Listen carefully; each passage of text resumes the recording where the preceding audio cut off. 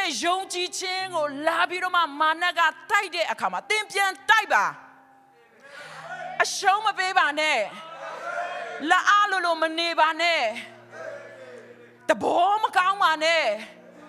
တင်းရဲ့ယုံကြည်ခြင်းအတွက်သင်ပြန်တိုက်ပွဲဝင်ပါဟာလေလုယာတင်းရဲ့ယုံကြည်ခြင်းကိုလာပြီးတော့စစ်ဆေးတဲ့အခါလာပြီးတော့စုံစမ်းတဲ့အခါလာပြီးတိုက်တဲ့အခါမှာသင်ပြန်တိုက်ပါ ယုံကြည်ခြင်းအတွက်တိုက်ပွဲမဝင်တဲ့သူတွေဟာယုံကြည်ခြင်းသင်ပေါ်ပြက်ပြီးတော့မှဘာဖြစ်ပြီလဲဆုံးရှုံးသွားပြီကိုတိုက်ပွဲကိုမတိုက်ဘူးဆိုရင်တော့တင်းတိုက်ပွဲဘယ်သူမှလာတိုက်ပေးမှာမဟုတ်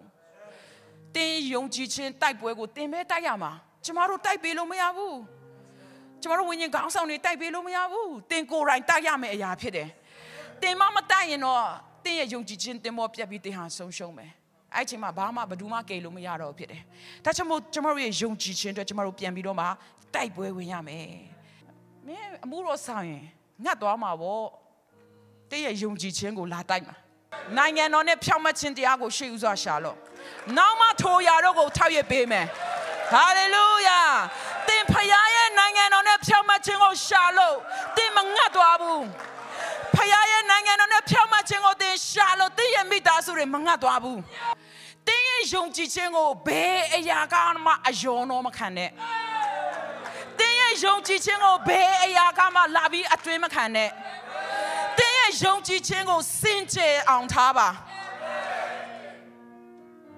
100%မှာ100%ယုံကြည်ပါအယောတော့မခံနဲ့တန်တန်ရှင်းရှင်းထားပါစီနဲ့ရေဟာဘယ်လို့မှခွဲနော်အတူတူရောထားလို့မရတယ်လို့ပဲတင်းရဲ့ယုံကြည်ခြင်းကိုလည်းတင်အဲ့လိုတည်တံ့ထားပါ ဟာလေလုယာကျမတို့ရဲ့ယုံကြည်ခြင်းအဲ့ဒီလိုမျိုးကျမတို့တည်တံ့တန်ရှင်းစွာထားဖို့ရင်အတွက်စက်တီးစွာဆုံးမပါတဲ့ကိုကိုကိုဆုံးမရမယ်ငါရဲ့ယုံကြည်ခြင်းကဘယ်အရာနဲ့မှအယောတော့မခံဘူးငါရဲ့ယုံကြည်ခြင်းကိုလာပြီးတော့မှတိုက်ခဲ့တဲ့အခါမှာငါဘယ်တော့မှဘယ်တော့မှတန်တရားမရှိဘူးဖယားသခင်ကမင်းကောင်းကြီးခံစားရမယ်ပြောတယ်ဆို100%ကောင်းကြီးခံစားမယ်ယုံပါ အာမင်ဖခင်တင်ကိုအကြီးကျယ်အသုံးပြုမယ်လို့ဖခင်ကပြောလိုက်ရင်100%ယုံကြည်ပါဝိညာဉ်တော်ကကျွန်တော်တို့ရဲ့အထဲမှာရှိတယ်လေအဲ့ဒီဝိညာဉ်တော်ကဖခင်စကားလာရောက်လာတဲ့အခါမှာ agree လုပ်တယ်လုံးဝလုံးဝသူကမငင်းဆန်ဘူးဖရားစကားကိုအဲ့တော့ကျမတို့ဖရားစကားရောက်လာတဲ့အခါမှာကျမတို့အုံနောက်နဲ့မစင်စားပါနဲ့ဟာဒါဖြစ်နိုင်ပါမလားမတွက်ချက်ပါနဲ့ဖရားစကားရောက်လာတဲ့အခါကျမတို့နှလုံးသားနဲ့ခံယူပါ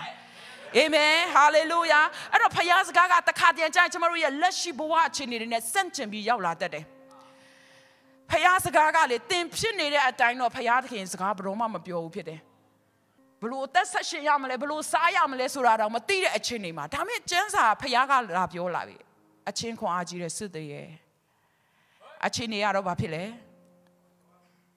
မညီမျှနေဘူးမညီမျှနေဘူး ဒီလိုကျမတို့ရဲ့ဘဝတက်တာထဲမှာလည်းပဲဖခင်စကားကအဲလိုလာတတ်တယ်တင်ဖြစ်နေတဲ့အချင်းတွေတိုင်းမှာဖခင်ကပြောမှမဟုတ်ဘူးဖြစ်တယ်တင်ခုချိန်မှာမချမ်းမမချင်းတင်ခံစားနေရတယ်ဒါပေမဲ့ဖခင်ကတင်ကိုပြောတယ်မင်းဟာကျမ်းပါပြီအဲ့ဒါဖျားစကားဖြစ်တယ်ဖျားစကားသင်ဖြစ်နေတဲ့အတိုင်းရှိနေတဲ့အချိန်ဒီတိုင်းဖျားကဘယ်တော့မှမပြောဘူး तू သ င်ကိုမြင်တဲ့အတိုင်း तू ဖြစ်စေချင်တဲ့အတိုင်းဖျားကသင်ကိုပြောတာဖြစ်တယ်အဲ့တော့ဟဲဖျားကငါ့ကိုလည်းငါဖြစ်နေတဲ့အရာကိုမပြောဘူးမဟုတ်ဘူးသင်ဖြစ်နေတဲ့အရာကိုဖျားဘယ်တော့မှမပြောဘူးဖျားဖြစ်စေချင်တဲ့အရာဖျားမြင်တဲ့အရာဖျားသင်ကိုပြောတာဖြစ်တယ်အဲ့ဒီအရာကိုတင်လက်ခံဖို့ရန်အတွက်ဖြစ်တယ်အဲ့ဒီအတိုင်းတင်အဆက်ရှင်ဖို့ရန်အတွက်ဖြစ်တယ်ဟာလေလုယာအဲ့ဒါကဘာလို့ခေါ်လဲယုံကြည်ခြင်းနဲ့အသက်ရှင်တဲ့သူဖြစ်တယ်အဲ့ဒီဖခင်နှုတ်ကပတ်တော်ကျမတို့အသက်တာထဲမှာအသက်ဖြစ်လာဖို့ တင်ရဲ့အသက်တာထဲမှာပြည့်စုံလာဖို့ဖခင်လိုရှိတယ်ဖခင်ရဲ့ဂတိတော်တောင်းတဲ့ချီပေးထားတဲ့အရာတင်ဘာတစ်ခုမှမခံစားရဘဲနဲ့မြေကြီးထဲကနေထွက်သွားတယ်ဆိုရင်တင်းလောင်ရှုံးတာတင်ပဲရှိလိမ့်မယ်ကျမတို့အဲ့လိုမဖြစ်ချင်ဘူးဖခင်ရဲ့ဂတိတော်အားလုံးပြည့်စုံပြီးခံစားရတဲ့သူဖြစ်ချင်တယ်ဖခင်ဂတိတော်ကျ မဘဝမှာပြည့်စုံလာတဲ့အရာကိုကျမလိုချင်တယ်ဟာလေလုယာအဲ့ဒီအရာတွေကျမဘဝမှာပြည့်စုံလာဖို့ရင်တဲ့ကျမတို့ဘာလုပ်ရမလဲဖခင်စကားကိုလေ meditate လုပ်ပါ meditate လုပ်ပါစင်ချင်ပါ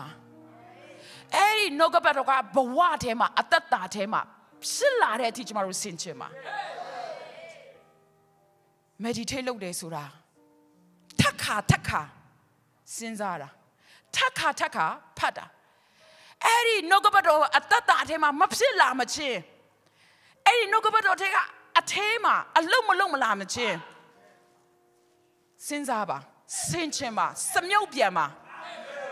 ဟာလေလုယာ